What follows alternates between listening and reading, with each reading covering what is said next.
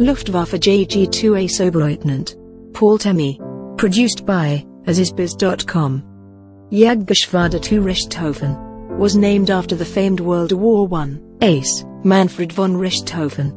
This gave rise to JG-2's emblem, which used a white shield, with a red letter R to signify their unit. This would become a synonymous symbol which was used to represent the unit throughout World War II. On the 10th of May 1940 Lieutenant Paul Temme was assigned to Stab 1st Group JG2. After the declaration of war by Britain and France, Hitler ordered Fall Gelb, or Case Yellow, and in five days, Paul Temme had scored his first official kill by shooting down a French Air Force twin-engined Potez 63, south of Sedan, in the Ardennes region. On the 26th of May, Adolf Hitler lifted the halt order on Dunkirk, allowing Field Marshal von Kleist's armored group to advance. They captured Calais and by the end of the day were within artillery range of Dunkirk. The Luftwaffe played a major role and it's estimated they dispatched around 600 to 800 aircraft, including both bombers and fighters to the Dunkirk area, as part of their effort to support the German ground forces. The RAF in turn sent around 180 to 200 fighters, which included both Spitfires and Hurricanes, to provide air support for the evacuation of the Allied troops. These aircraft were part of Fighter Command's 11th Group, which included 19 Squadron, 66 Squadron, 72 Squadron, 79 Squadron, and 222 Squadron. Despite being significantly outnumbered, the RAF fighters were able to effectively disrupt the German air operations and prevented them from achieving air superiority over the Dunkirk area. Although difficult to determine due to conflicting reports and incomplete records, it's estimates that the RAF lost around 40 to 45 aircraft defending the area, whilst the Luftwaffe lost around 48 to 55 aircraft on that day, including both fighters and bombers. Overall, the aerial combat that day was an intense battle and costly for both sides, with significant losses suffered by the RAF and the Luftwaffe. It was on this day that Paul Temme managed to shoot down two aircraft, both Spitfires, southwest of Calais. The first one he shot down during a morning sortie at 9.36 am, and the second one was shot down later in the afternoon, at 5.05 pm. This brought his tally to three confirmed kills. It's not historically clear but the series of photos shows Lieutenant Paul Temme sitting on a Bf-109E3, with the running dog emblem painted on the cowling and marked White 5. Some historians believe that this force-landed aircraft may well have been assigned to him. However the group's records are sketchy at best during this period, and there is no official record of him being shot down or having had a forced landing. The close-up photos are valuable because they show the Christmas tree paint scheme used by his unit at the time. It's estimated that around 22,000 Allied troops were killed in the Battle of Dunkirk. And it was during this time that Paul Temme had something of a spiritual awakening. Shooting down an aircraft is one thing, but mass killing is another. The sensitive, highly strung Paul Temme said. As far as the enemy was until then, a thing, not a person. We shot at an aircraft with no thought for the men inside it. But now we had the job of ground strafing. I hated Dunkirk, it was just unadulterated killing. The beaches were jammed full of soldiers. I went up and down at 300 feet, was a piping, the beach area, cold-blooded, point blank, murder defenseless men, fathers, sons, and brothers, being cruelly massacred by a 24-year-old boy. On the 27th May the British evacuation started in earnest.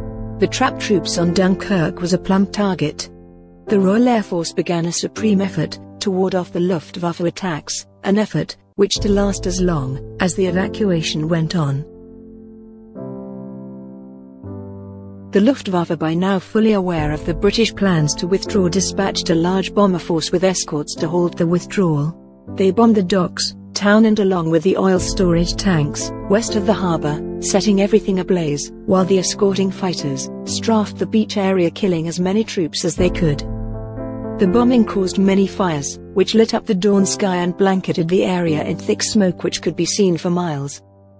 Fighter Command ordered 16 squadrons to cover the area as continuously from 5 o'clock in the morning till nightfall, and most of them on this day carried out two or even three patrols, which varied in size, from 20 aircraft to only 9. They nearly always met the enemy in far greater strength,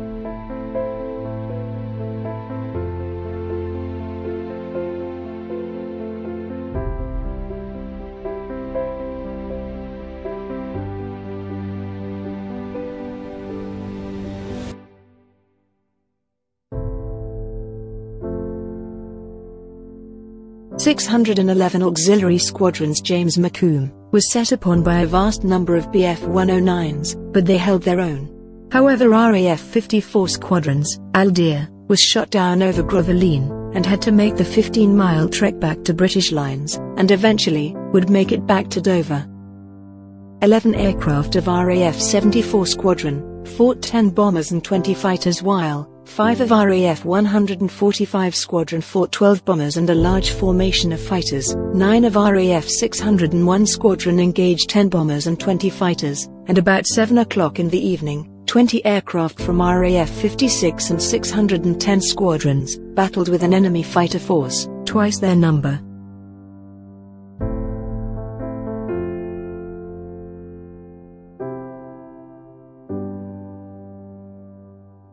14 RAF Spitfires and Hurricanes failed to return from covering the evacuation area. The Luftwaffe in error claimed 90 RAF aircraft shot down that day. However, the raid did come with a cost. The Luftwaffe suffered a 10% loss ratio. Out of the 225 bombers they sent over 24 were shot down,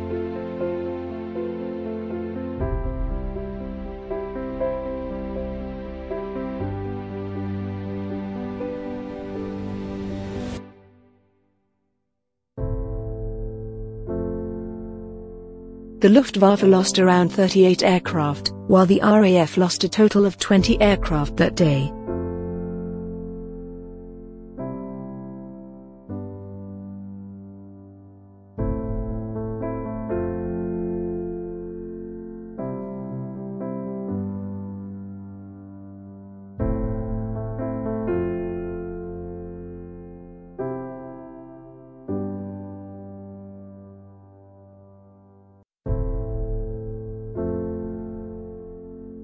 It was on the 2nd August, and after the fall of France, that the newly promoted Paul Temme who was now a Oberstleutnant, equivalent to a lieutenant colonel, was in the process of moving to a new airfield in Le Havre, France.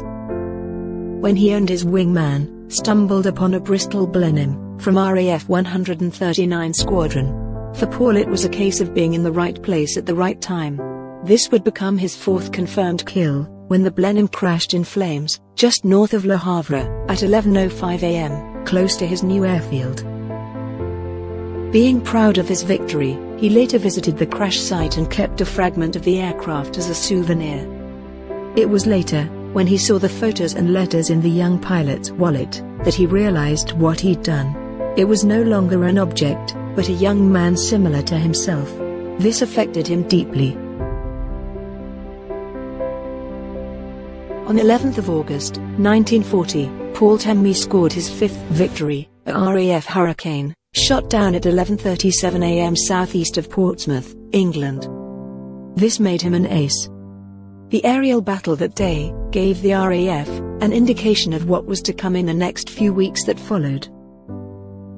The attack on the Luftwaffe formation that was heading towards the Portland Naval Base and Weymouth was the biggest of the day. It caused the destruction of a number of factories, including the gasworks and oil storage tanks. Other damage was fairly minor and was really more of nuisance than of value. However in terms of aircraft the day's losses were high on both sides. The Luftwaffe lost a total of 38 aircraft. Further to that some 15 aircraft either made forced landings or made it back to their bases, with considerable sustained damage. The RAF fared no better with six Spitfires and 21 Hurricanes shot down. One Spitfire and five Hurricanes had to make forced landings, and one Spitfire and nine Hurricanes damaged. This did not please fighter command especially Keith Park, and when they were informed that 26 RAF pilots were missing, something had to be done.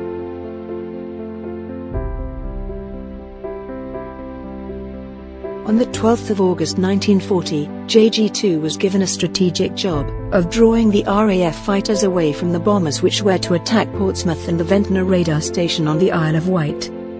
As Paul Temme later recalled, We had strict orders to tie down the British RAF fighters, combat me, for 35 minutes.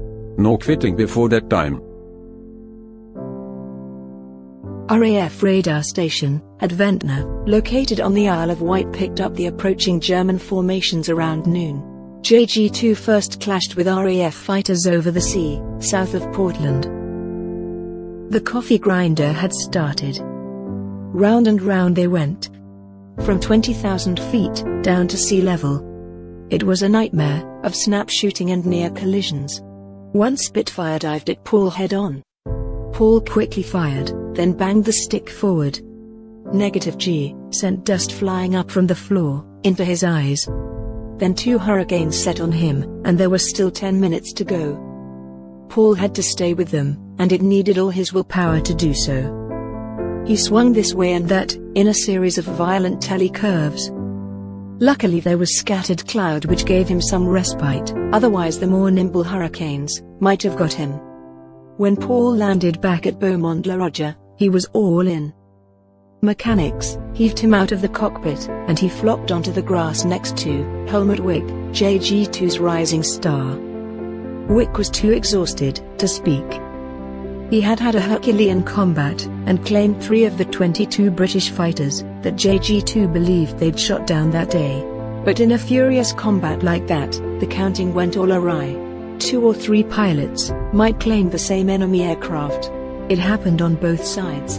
Along the 300-mile air front, from Harwich via Dover to Portland, 32 British fighters were lost.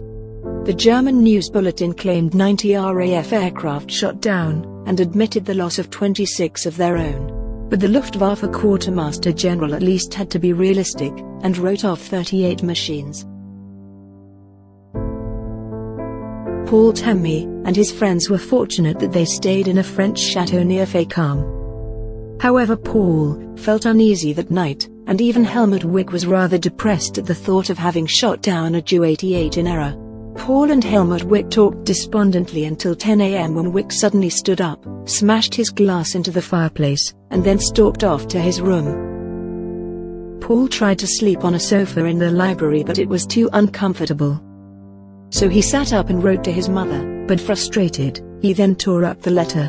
His eye had fallen on a book, the poems of Rainer Maria Rilke. He opened it, at random page, and read. Wer im Om weint in der Nacht, weint für mich die. Who now weeps in the night, weeps for me. Paul felt a terrible loneliness, as if the sorrows of the world were weighing on his heart. The night before his fateful mission Paul Temme was JG2's group adjutant and at 5 pm they received a signal from OKM Luftflotten. It read, Adler Tag. Eagle Day begins at 7.30 am 13th of August. 13th of August 1940, Adler Tag. The Luftwaffe offensive designed to destroy England. The mission summary report follows. The day started with fog, and this literally threw a spanner in the works. Reichsmarschall Hermann Göring decides at the last minute to postpone Operation Adler Angriff. However, Göring had waited too long to postpone the operation, while he was able to stop some formations. Other formations were already in the air on their way to their targets. Rather than an overpowering start, he'd wished for, a confusing series of disjointed attacks on random targets had begun. Paul Temme was flying his JG-2's group-assigned mission, which was to escort the bombers. It was on this fateful day, the 13th of August, 1940 that he scored his sixth and final victory of the war, a Spitfire over England.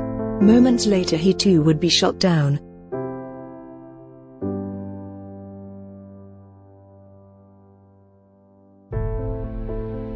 It's not exactly clear why Paul's aircraft began having engine problems, but he got left behind by the rest of his unit. He saw a lone straggling Junkers Ju-88, and went to its aid but was shot down in the process. It's believed that he was shot down by RAF Hurricane pilot, Sergeant J.P.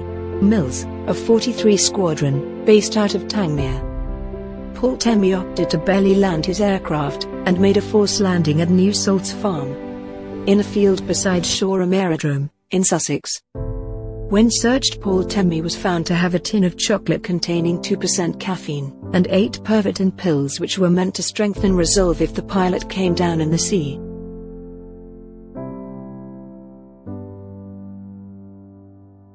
His aircraft was well photographed and was put on public display to raise money for the British war effort.